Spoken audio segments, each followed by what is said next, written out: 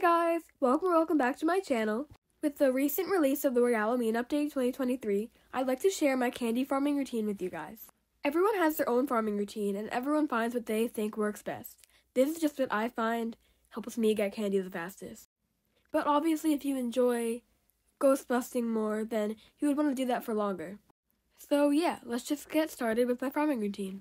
The first thing I do is I apple bob 10 times. I would be doing this for longer because I love apple bobbing so much, but unfortunately this year there's a 10 apples per hour bobbing limit.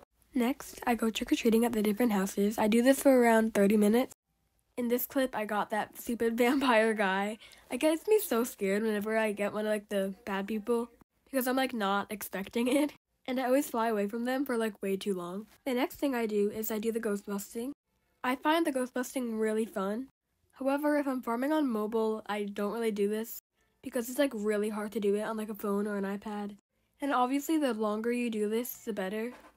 But after like 30 minutes, I get super bored. After I do this, I go to the main campus and I then collect all of the candy buckets around. If you want to know where every spot is for the candy buckets, then go check out my video I have on my channel.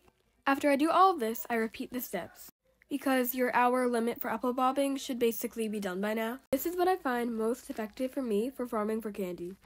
Thank you guys so much for watching this video. See you in my next one. Bye!